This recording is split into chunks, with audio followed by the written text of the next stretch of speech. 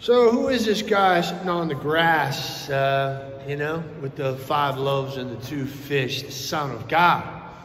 Um, we say that, but it really it takes a lot of effort on our part and prayer to really get this into our brain. It was hard for the people back then. It's difficult for us now to see a guy who looks like a man and think that's the incarnate Logos the divine Logos, the Son of God, equal to the Father, consubstantial with the Father, shared the glory of the Father before the creation of the cosmos. That's who's sitting there on the grass. It's really hard to get that in our little peanut brain. So every day I try to hit the refresh button, reboot the computer, try to get this in, reappropriate it, interiorize it. It's, it's, it's, it's yeah. It's one thing to think about God as some God of the philosophers up there, you know, that's much easier for me to just think of God in an abstract way. Uh, yeah, this being, yeah, sure, uh, that's all knowing and omnipresent and so forth, all powerful, easy. Uh, God the Father, yeah, all right, I got that, that's fine. Uh, but now you put God in, uh, in a human nature and you're like, that guy right there, telling me? Looks like everybody else. That's God. Okay? Uh, that's tough. The incarnation is tough, and yet that's the essence of Christianity. It's the essence of our Catholic faith. Is we got to get those two things together. That's what this miracle is all about. Divinity and humanity, and bring them together. It's hard though. They resist each other, and and when you get them to plug in, when you plug in the faith, it's like plugging in a Christmas tree to the wall. The whole Catholic faith comes alive. It looks sad and dreary until you do that. Uh, then it's like bing, you know, during Christmas season. When you come downstairs and see your Christmas tree, doesn't it look sad over in the corner until you turn the lights on? That's how people look at the Catholic faith. Because they don't realize the Son of God was walking around down here. They see a man in the grass sitting there. Yeah, he's a charismatic religious leader, great moral teacher, uh, prophet, maybe, nothing more. Uh, we got to get it through our little peanut brain who our Lord is. And for him, this is easy. This miracle, easy. I mean, who is this guy sitting there? Uh, he's the one that uh, 13.8 billion years ago created everything out of nothing, our whole universe. And I want to just talk about physics stuff for a second because I want to have some fun with this. We're going to do a little science. I, I, I don't have much uh, formation in science. I, I, ain't never had no physics class in my life. I took uh, earth science. Um, Chemistry, I remember, I, I, know I didn't get an A, I'll tell you that much. Uh, but look, physics, let's talk physics because uh, uh, I think it's fascinating. I mean, this is settled science. The universe started 13.8 billion years ago. Okay, we know from, we've been able to measure the expansion rate of the universe. You just got to rewind the tape. We're, we're, it's pretty solid. Okay, within okay, plus or minus 100 million years. So we know how old the universe is. Most of human history they haven't known. They just had to assume it must go back eternally in the past. We don't know. Uh, now we know, okay, and it's settled. Uh, and we know the age of the universe. Amazing. And it's pretty much a consensus on that. Uh, and we know the things approximately 100 billion light years across. They can even estimate the mass of the universe. I mean, it's just unbelievable how we are able to get our head around that with and show it with scientific equations and stuff. I don't know. Uh, and there are these four cosmic constants. Um, you tell me if you remember this stuff from high school or college. The fun, four fundamental forces, you know, the gravitational, the electromagnetic, the strong and weak nuclear forces. Raise your hand if you remember that from different stuff you studied in school. No one over here in the main section of the church remembers the four fundamental forces in class? Wait, wait, do that again. Yeah, one, there's two over there. Anybody smart over here? Yeah, there's three over here. They got you over here. All right, look. Uh, I don't know what I'm saying. I don't know. I couldn't say one intelligent thing about the strong nuclear force or the weak nuclear force. I don't even know what it is. But I'm saying it anyway because I heard smart people talk about this on YouTube. Now, uh, but uh, here's something that's pretty solid, though, what we know, the more we learn about the origin of the universe, it's unbelievable. Whoever had their hands on the dials, like everybody, even, even including radically, radical atheists like Richard Dawkins, all of them are scratching their heads because this thing is so dialed in. The fine tuning of the universe is so fascinating. If it's off the slightest little bit, there's no life in the universe, no possibility of life, because there's no possibility for hydrogen or for the other things we need. Uh, everything has to be just right. And we could have any number of different conceivable uh, formulations, you know, of these four uh, fundamental forces. Uh, so whoever dialed it in had their hands on the dial, knew exactly what they're doing. Some of these things, like the strong and weak, weak uh, nuclear forces, if you had the fraction, okay, point, and then 40 zeros and a one, that's how small we're talking, a fraction. 40 zeros with, with a one, all right? After the decimal point, if it went up one degree higher or lower, the universe would either burn up or freeze out. Okay, there's no possibility for life. You can play around as soon as you start fiddling with any of those four constants, those four fundamental forces, there's no possibility of life. Um, and this is this this is mind-boggling how perfect our universe is Here we are, 13.8 billion years. This is like the habitable age. It took a long time to season it and get it ready for life. Okay? Uh, it takes a long time of preparation to get it to this point. We're like, how come it took so long for God to make this whole thing? Why is the universe so old? Because that's how long it took to get to a habitable age, period in the history of the cosmos that could support life.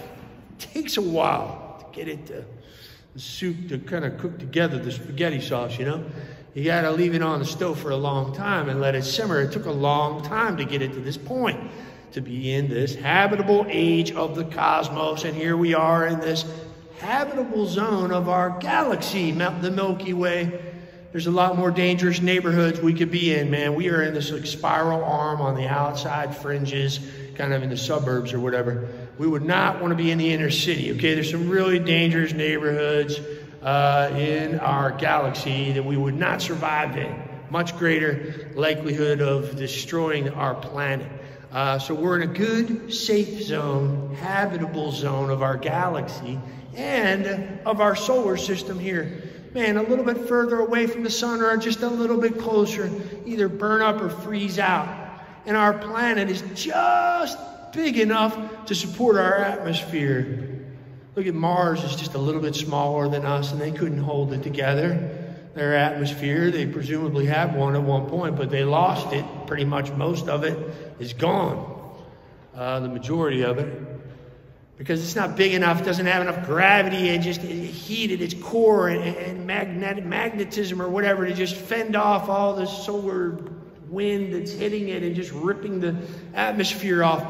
Man, we have just enough of all that stuff to like hold down our atmosphere, and we have enough water and sulfur and all these other elements needed to support life. It's like perfect. It took 13.8 billion years, and you need a universe 100 billion light years across to make a place like this for us, creatures like us, to live in. Unbelievable, folks. Then you add the moon to the equation, keeping us from wobbling and giving us our tides and our season and our ordered climate. I mean, the whole thing, it's, it's amazing how dialed in it is. Who had their hands on the dials? That guy sitting on the grass. A guy sitting on the grass with five loaves and two fish. Easy for him to perform this miracle. That guy, you know how smart that guy is? Unrestricted knowing powers. We're so impressed with ourselves, our little areas of expertise, you know, but it's very compartmentalized. You know, we can only know you know, become experts in one given area. As soon as you stray out of it, I mean, I feel like a knucklehead listening to these guys on a computer, you know, talking these famous cosmologists and physicists and astronomers, and I listen to them, and they could blow my doors off. I, if they saw my GR, GRE score in math, you know, they would just laugh. Uh, yeah, couldn't even follow the my last, I don't even want to go into my math career. Oh my goodness. Last class I took in math at the University of Delaware, Algebra 010, wasn't even credited. It was just a class like to get you to where you could take other classes to actually obtain credits, college credits. And I got a C. Or, uh, I'm not very good at math. So look, man, these guys, I'm so impressed by them, but uh, you know, I'm listening to a panel of them, and they're published in peer-reviewed journals and blah blah blah, chairs of this, that, and the other thing. And I'm like real impressed. But then they start talking about religion or something, and they start to wander into my area of expertise. They they suddenly sound so dumb. I mean, no insult to high school kids, sorry.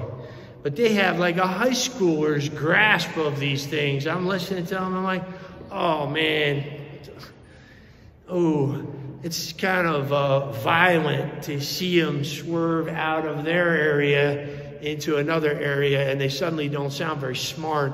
And I'm embarrassed for them, to be honest with you, listening to them. Um, yeah, God doesn't have any limitations like that.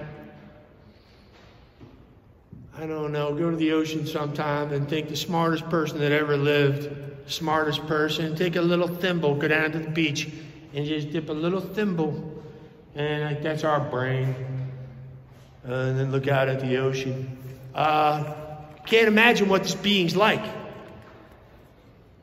Sitting on the grass, knows everything there is to know all at once without a struggle for all time. Not even just what is, in its to its fullest extent. I'm talking every scrap of data in the universe, everything, even our inmost thoughts and feelings.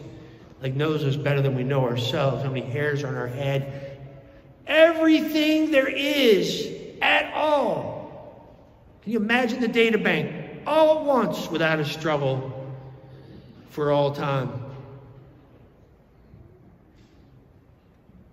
Yep, and even what's possible. Even what's possible. Everything, every possible universe. Every position of those dials, whatever he wants to do. Everything that's even possible, God knows all at once without a struggle to its fullest possible extent. That's what we mean by unrestricted knowing powers. That's who's sitting on the grass, holding the five loaves and the two fish. Awesome to think who Jesus is. We barely have the foggiest idea who he is sitting there, nor those who are gathered around his apostles and the people in the crowd. They have no idea who's sitting there. Nothing more interesting has ever happened in the history of the human race than the incarnate Logos walked around down here, than the Son of God came down here. That ought to be sizzling and crackling in our brain every day. That's the front, should be on the front page of our minds, the top headline of our hearts every day. How amazing this is that God walked around down here. Be struck with fresh wonder every single day, try to get that into our little peanut brains, cut through the fog, and get it to register. When we do, we'll see our Catholic faith and all the sacraments come alive when we realize who's behind them. When I stand at the altar and hold that bread and say those words, and we realize Christ, the Son of God, is saying those words in, in and through me as his secondary instrument. He's the primary agent. Easy for him to do these things when we know who he is.